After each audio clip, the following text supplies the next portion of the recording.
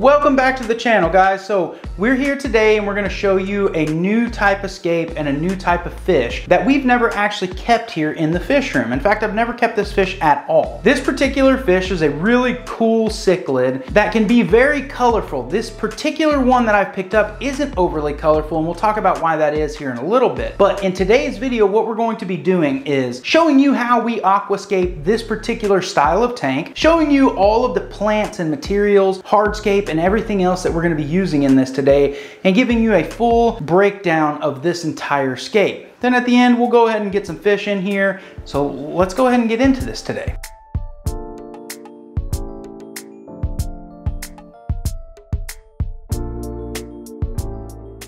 So what we're gonna be using for substrate is this right here. And this is a combination of pool filter sand as well as some of that crushed rock that I used over here in the White Mountain Minnow tank. And as you can see, it's kind of a gray, more gray color that matches the Seiryu stone. But we went ahead and mixed it with some pool filter sand, which kind of gives it a nice little brown tint. So we're gonna be using this. We're also going to be using some lava rock, which is great for beneficial bacteria, as well as building up a that you can then just simply cover with whatever your substrate choice is, which in this case is going to be this. We are also going to be using some Seiryu stone again, and then a couple of pieces of driftwood, which we have a whole bunch of driftwood down here. I was actually lucky enough to meet someone who has a big passion for collecting driftwood. So I was able to purchase a large amount of driftwood for many, many builds coming up from this particular person. And that is great because we have some big builds coming. In fact, if you look right here, we have a bunch of big driftwood. We have a bunch of smaller driftwood. We have the driftwood that we're gonna be using in this tank today actually has been soaking for some time and has been boiled and cleaned and things of that nature. So we have a lot of driftwood for a lot of different projects that are coming up. So we'll show you that driftwood that's going into this tank here in just a little bit. But to start, let's go ahead and start talking about the plants. So we're gonna be using a few different plants. We're gonna use some of this broadleaf Ludwigia. We are going to probably take a couple of Java ferns, maybe one of these Nano Anubias. We may use some of this Ambulia. I'm not really sure. We may we have this cool little dwarf lily right here. So a lot of different plant options, but we're gonna get into that here in just a little while. But what I'm gonna use for our planted substrate is going to be some of this fluval stratum substrate. And the reason I'm using this, this stuff works fantastic for a planted tank. Now our base level substrate is not going to be that fluval stratum substrate. We're gonna actually gonna be using a different method and we will only be using that planted substrate specifically where plants will be planted. And then we'll just simply cover that substrate with our substrate of choice. In this case is this gray crushed rock and the pool filter sand that has been combined together. What we're gonna do now is we're gonna go ahead and get into this actual scape by laying down a kind of a breakdown of where things are going to go so we can understand where plants are gonna be and those types of things so we can make sure we get our planted substrate where we want it.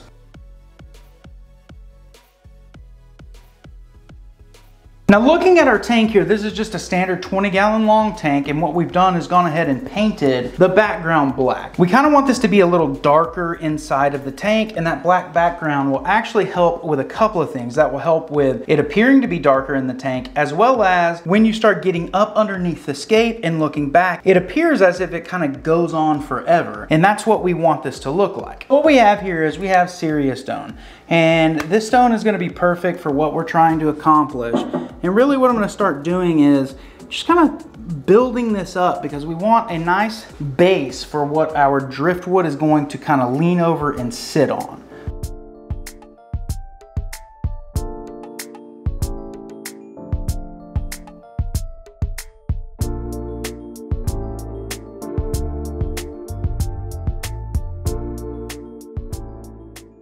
So what we're gonna be using is some Loctite super glue that is liquid, and this is a cyanoacrylate based glue, which means that the moment that it cures, it is inert, meaning that it is safe for fish. And how we're going to do this is with some cotton balls. So what we're gonna do is we're gonna take a piece of cotton here, and split this cotton ball in half. And what we will do is come in here and start poking this cotton in where the wood hits. So we'll put a little piece there. As you can see up in this corner here, if you can just barely see right here. So that is cotton that's right up in there. I'm gonna come over here on the back side of this tank and I'm gonna stuff some right down in here, which you cannot see. And now what we need to do is start using this cyanoacrylate glue and gluing this in. Now what I'm gonna do is as I glue, I'm gonna cover this piece of cotton with some additional rock and naturalistic looking substrate to hide the cotton.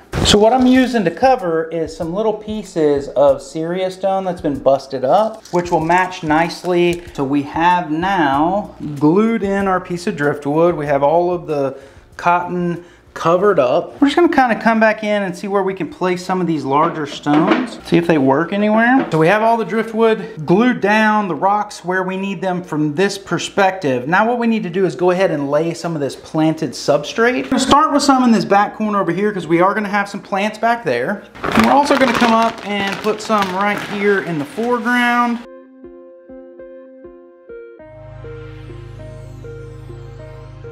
And we'll have some back here in the background as well. So now I'm gonna come in with this paintbrush and just get this out of here where I don't need it. We just wanna make sure that we have a nice layer of this planted substrate wherever plants are going to be. So now that we have our planted substrate where we need it, we're gonna go ahead and get our regular substrate dropped in here. We will just be able to use our planting forceps and stick it right down into this planted substrate underneath our regular substrate.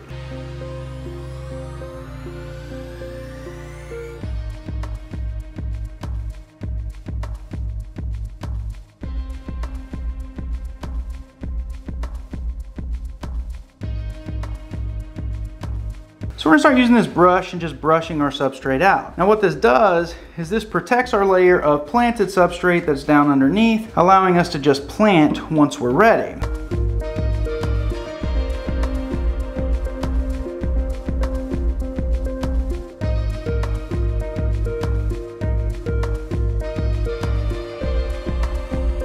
Okay, so we have the initial portion of the scape done. So now what I need to do is come back in with just some detailed type things. I wanna get this sand off of this wood and go ahead and add some details to this. And what we're gonna do that with is maybe some additional driftwood, maybe some moss, things of that nature. So let's go ahead and get this done.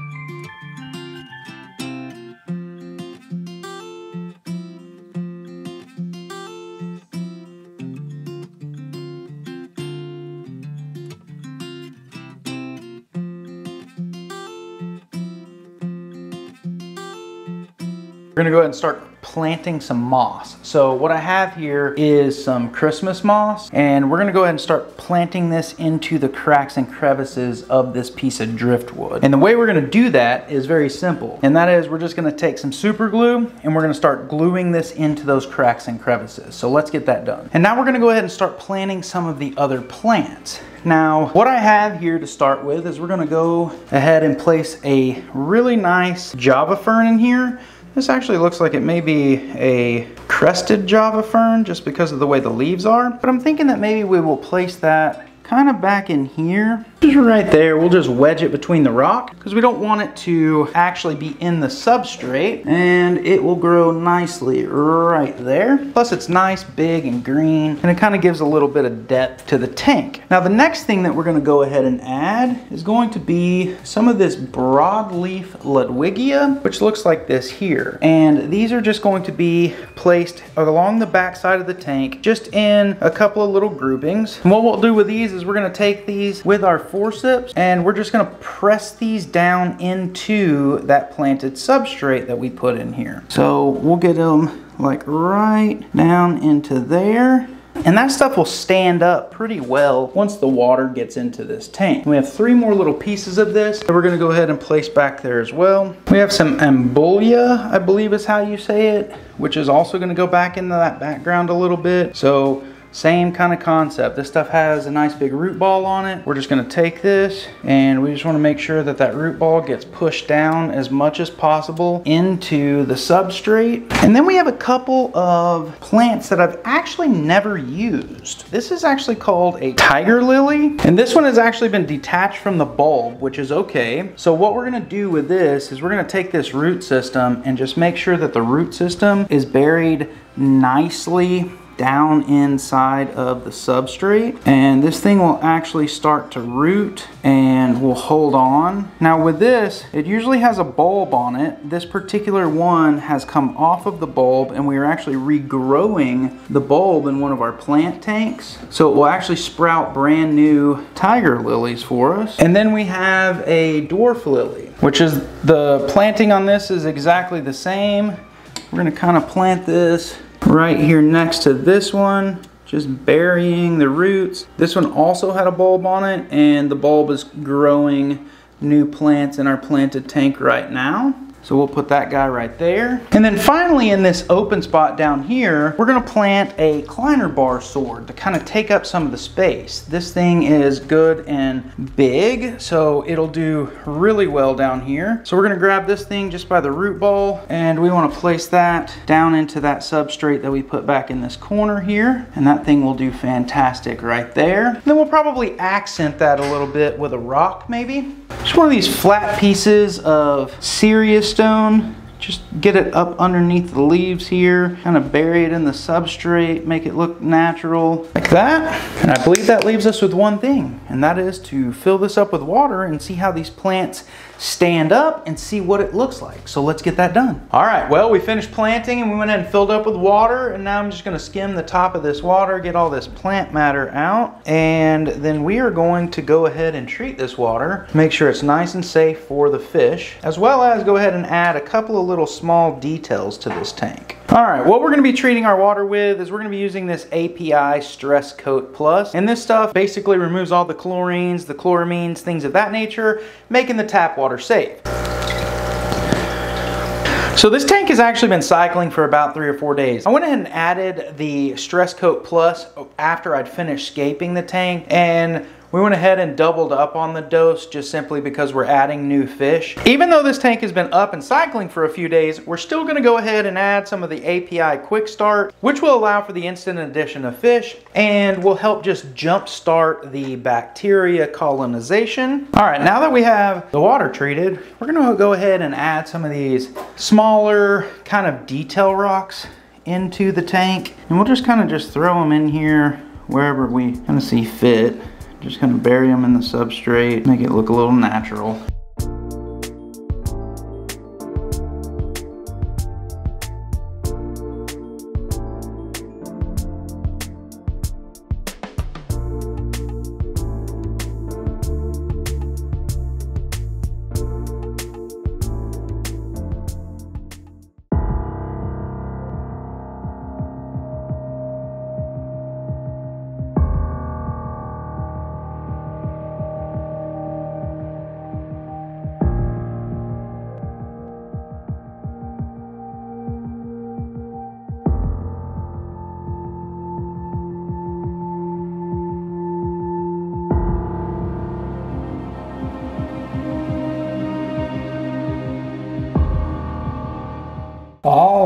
Well now that we have these fish in here, let's go ahead and take a look at this thing.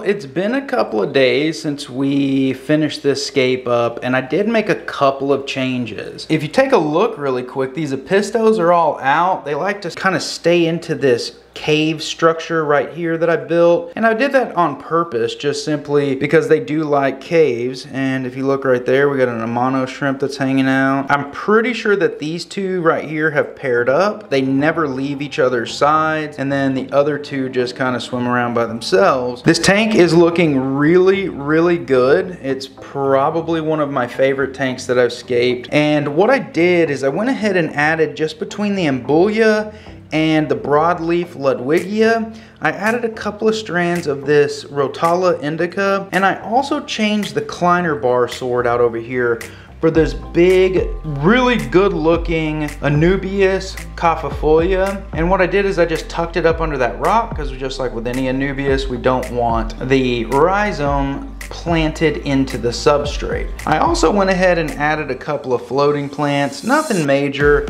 but overall this tank is looking fantastic and I really like these little wild caught Apistogramma cacatuoides. They are a really, really cool addition to the fish room. So this little dwarf lily and this tiger lotus both look fantastic. And just overall, I'm really happy with this scape. So with that, hopefully you guys went on to enjoy this video. Hopefully you like this new scape and these Apistogramma cacatuoides, these little pygmy cories, the cardinal tetras and the little Amano shrimp that we put into the scape. If you notice right back here, you'll notice that the backyard rescue pond is actually full of water, which is something we've been working on for a while, but we've gotten a lot of rain here in Texas, so we haven't been able to finish it, but we're working on finishing that today. So that's actually gonna be our next video coming out is converting that backyard pond into both an aquatic and terrestrial rescue setup where we can put turtles and things of that nature. So make sure if you haven't joined the channel, hit the subscribe button, turn on that notification bell so you do not miss the content coming out. Make sure you go follow us on Instagram as well and Facebook. All the links are in the description of every video. And with that, we will see you next time.